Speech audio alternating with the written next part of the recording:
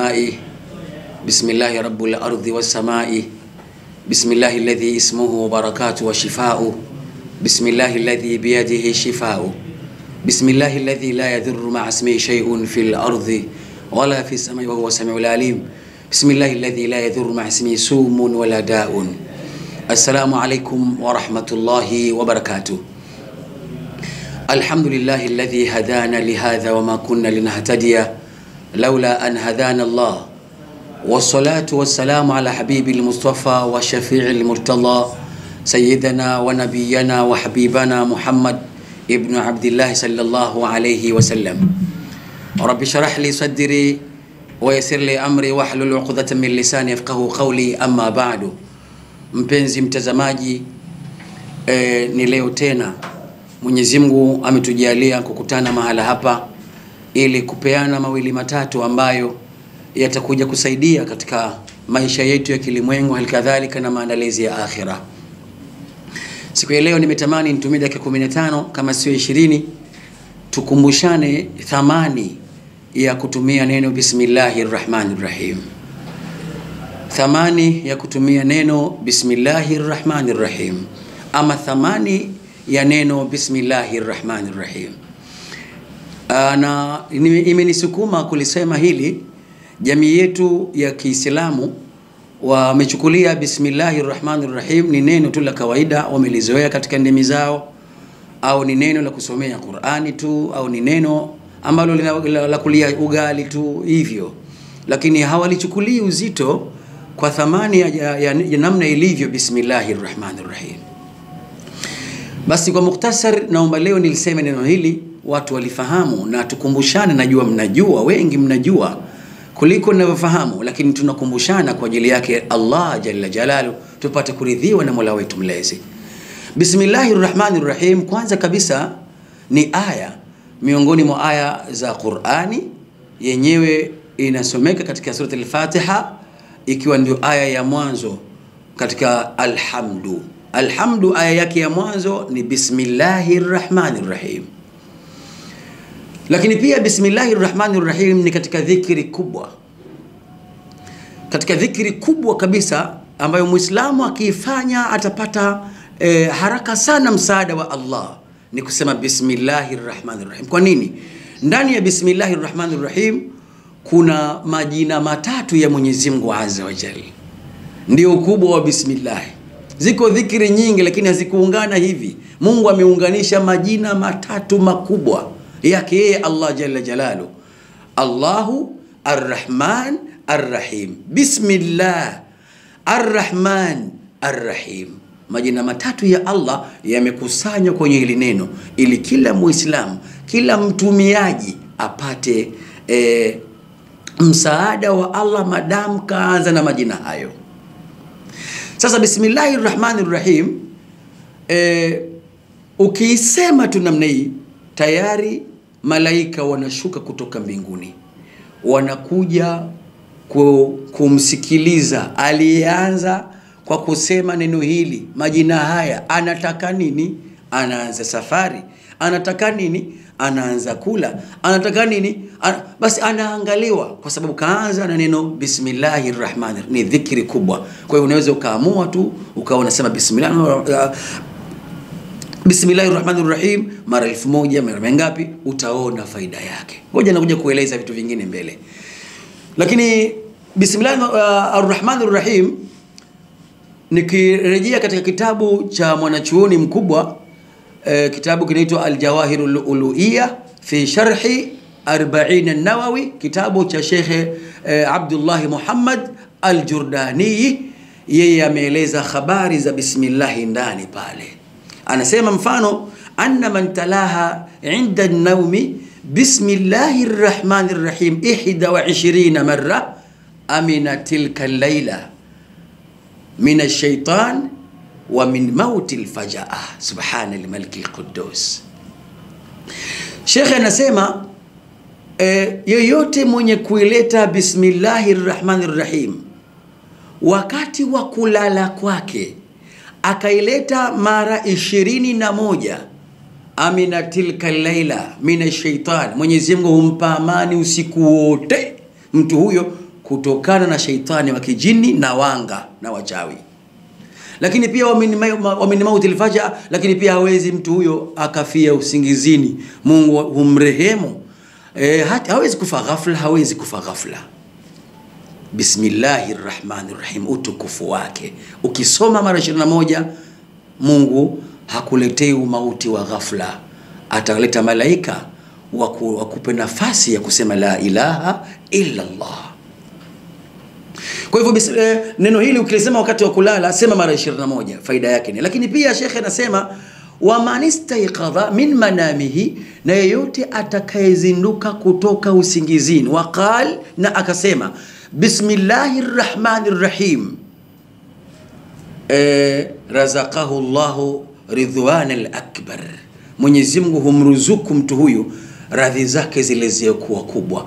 Yani umeamka usingizini kitendo cha kuamka tu. Neno lako la mwanzo ukasema bismillahi rahmani rahim mungu anakuridhia.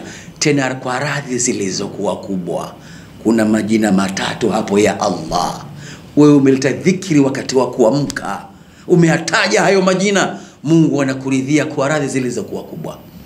Lakini pia shekhe amesema atakayesema bismillahi rahmani rahim mara 21 wakati wa kulala mungu pia humpa amani kutokana na wezi. Eh, wa amina baitahu min sirqa. Mungu humpa amani kutokana na wezi na ndio maana mimi katika ilmu zangu hizi za mambo ya tiba nikienda kufanya kinga katika nyumba ya mtu nazilete hizi kwa idadi ambayo ukinitafuta nitakutajia insha allah lakini ndio alafu ndo natumia yule mti mkuu. Habari zake kubwa hafiki mpaka mwizi. Mwizi mungu anamuondoshea tamaa ya kutamani vitu vyako. Mungu ana siri. Bismillahir Rahmanir rahim. Niliisoma hii kwenye shamba moja huko kijijini kwetu morogoro na singida sehemu moja hivi e, wanaita mtamaa e, mtamaa tuliipiga hiyo kwa kuzunguka shamba namna hii. Kwa idadi maalum ukinitafuta nitakuambia insha allah. Alafu tukaweka mambo yetu hayo e, miti yetu hiyo shamba lile lilikuwa linavunwa asali usiku wa manane. Wezi wanamvizia jamaa na mizinga yake wanamuibia ndugu zangu bismillahi rrahmani rrahim ina habari kubwa. Lakini wafil hadithi na katika hadithi ya bwana mtume sallallahu alayhi wasallam bwana mtume salam anasema idha qala abdu atakaposema mja bismillahi rahmani rrahim qalat ljannatu pepo humuitikia mtu huyo. Faida nyingine nakupa hii. Ukisema bismillahi rrahmani rahim mfano muda huu sema bismillahi rahmani rahim kwa kusema hivyo tu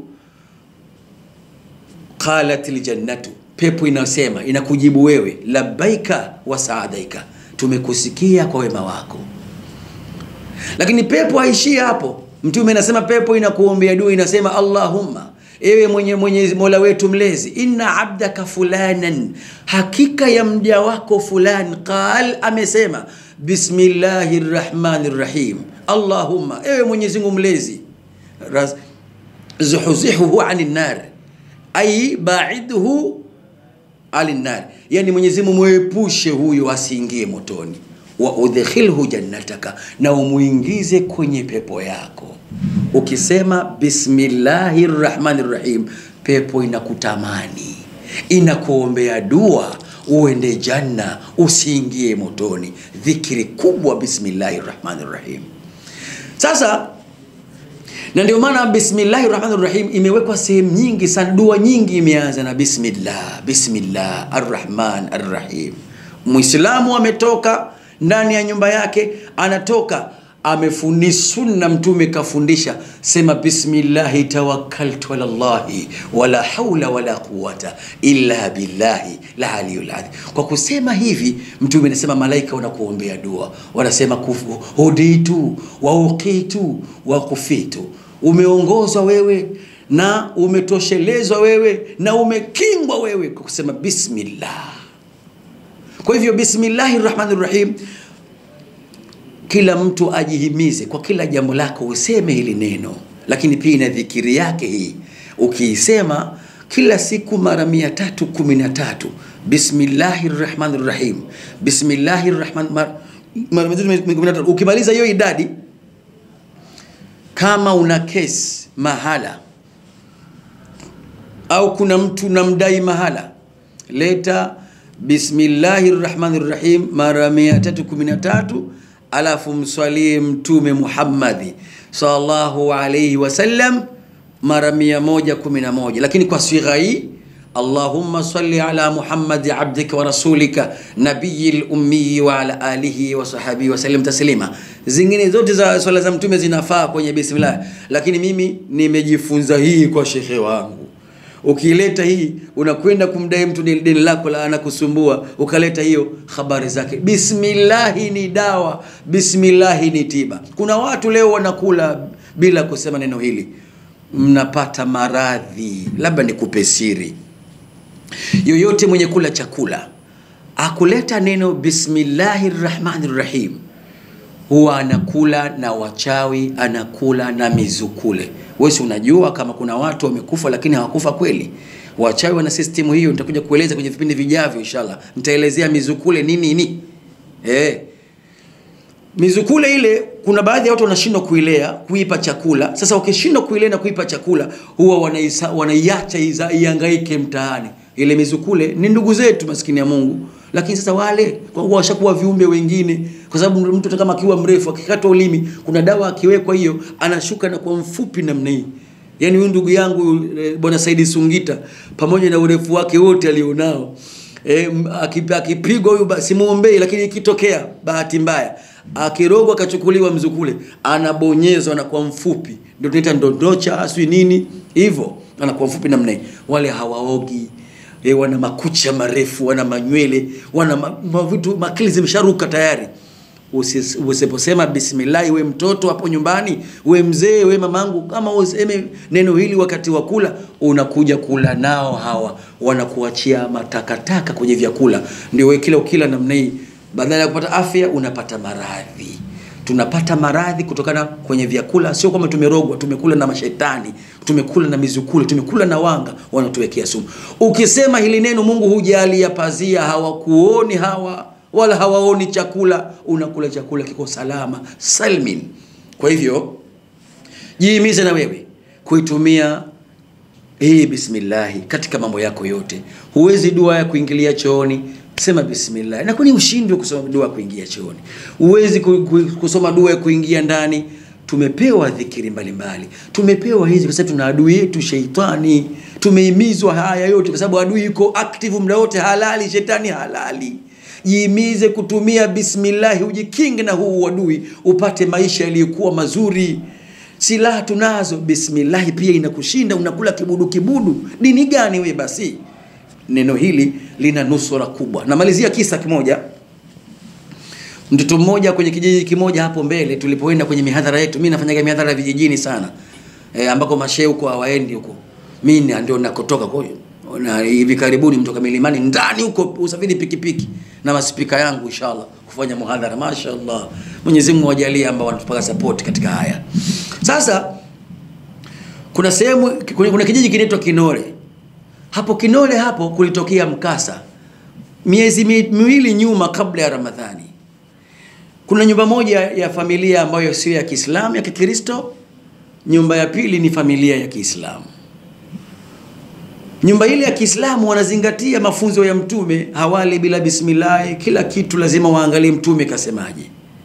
Jambo zuri sana ukidharau mtume utakuja kupata maangamivu. Sasa ile nyumba wale watoto wamefundishwa madrasa sunna ya kunywa maji. Kila siku wana- wana- wanaziimba. Sunna za kunywa maji ziko sita. Ya kwanza uyapate maji yenyewe. Ya pili uyatazame maji yenyewe uyaone. Ya tatu useme bismillahi. Ya nne e, e, ya, ya, ya nne u ziko misau zile suna zenyewe sasa yule mtoto wa kikristo kazingatia yale maneno siku hiyo ana homa kali anaumwa usiku wa manane kule kijijini wanatafuta kibiriti cha kuwasha koroboi hakuna ah. sasa mtoto anadai maji kiu imembana homa kali mama maji, mama maji. Babake kanyanyuka na kikombe anampelekea maji.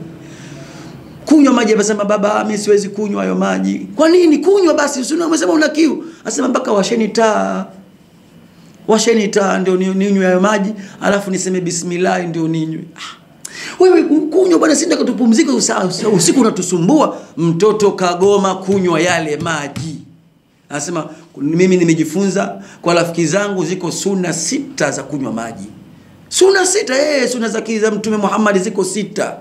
Suna ya kwanza maji yenyewe nimeambiwa. Suna ya pili uyaone maji kwa macho yako. Suna ya tatu useme bismillah. Sasa mimi siwezi kunywa maji mpaka niyaone. Angalia, subhanallah, watoto wameimbishwa chuo tu. Basi kilichotokea wakatafuta kibiriti mpaka kimeonekana, kuwasha taa. Subhanallah, wanamulika kwenye yale maji, kuna bonge la nge.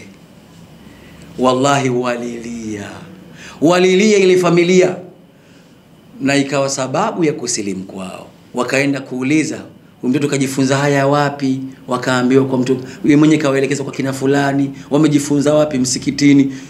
Mzee kenda kusimulia hii habari msikitini, akasema dini yenu ni ya kweli. Mwanangu hali mpaka aseme bismillah, hanywi mpaka aseme bismillah. Lakini pia juzi ndio nimejifunza kitu kipya pia, mpaka maji yana sunna sita mpaka uyaone. Kwa hivyo funzo lolote la Mtume ukilifata kuna kheri, ukiliacha unapata balaa.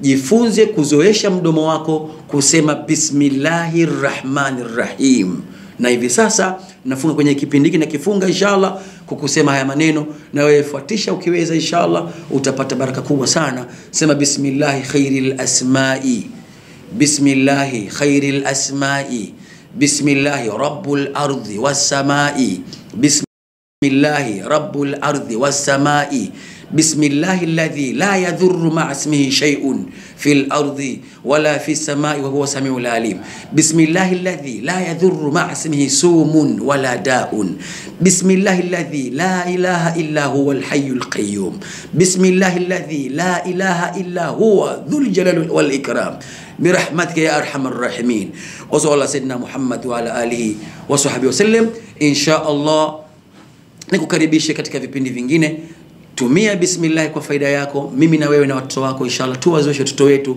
kusema hili neno lina faida kubwa. Na leo nimedodosa kidogo tu inshallah lakini siku nyingine tutakuja kueleza na mengine. Mungu akituwafikisha. Wallahu waliyu salihin. Alkamalu lillahi. Wassalamu alaikum warahmatullahi wabarakatuh